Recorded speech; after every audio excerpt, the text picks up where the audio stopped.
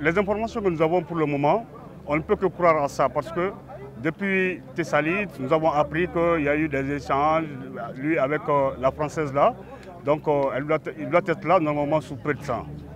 On est confiant, on espère aussi qu'il nous vienne en sain et sauf quoi.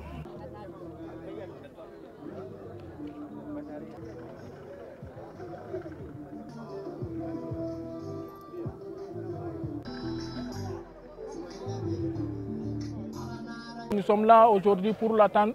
Notre président, l'espoir du nouveau Mali, c'est Soumola Sissé.